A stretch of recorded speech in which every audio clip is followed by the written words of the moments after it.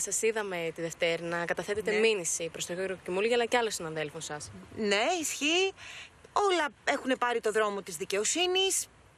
Πιστεύω ότι δεν θα υπάρχουν ε, άμεσα κάποιες ε, μ, ε, περαιτέρω μ, εξελίξεις, διότι αυτές οι διαδικασίες ξέρετε ότι είναι αργές.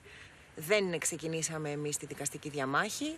Ε, εμείς λάβαμε μία αγωγή, εγώ δύο μηνύσεις, η κυρία Δούκα επίσης, οπότε ήταν μία απόφαση του κύριου Κιμούλη, οπλο- οπότε εμείς με έναν τρόπο είμαστε αμυνόμενοι επιτιθέμενοι. Πιστεύετε ότι θα δικαιωθείτε στο τέλος; Είμαι σίγουρη ότι θα δικαιωθούμε.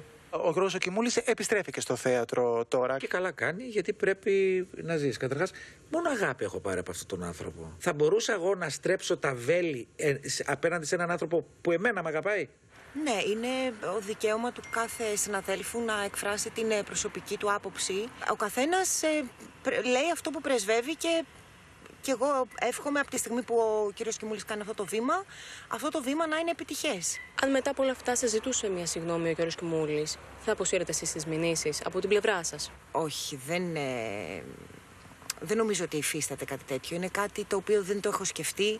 Ε, ξέρετε τι, η αλήθεια δεν έχει αποχρώσεις. Η αλήθεια είναι μία.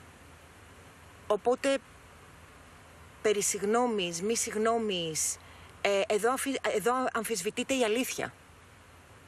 Αφ- αμφισβητούνται γεγονότα. Εδώ πρόκειται για ζωές ανθρώπων. Για ζωές ανθρώπων που πόνεσαν, στιγματίστηκαν, το φέραν ως τραύμα, οπότε ποια συγγνώμη. Αν δεν ήσασταν αυτό το πρόσωπο, με όλα αυτά που έχουν συμβεί με τον Γιώργο Κιμούλη, θα συνεργαζόσασταν μαζί του.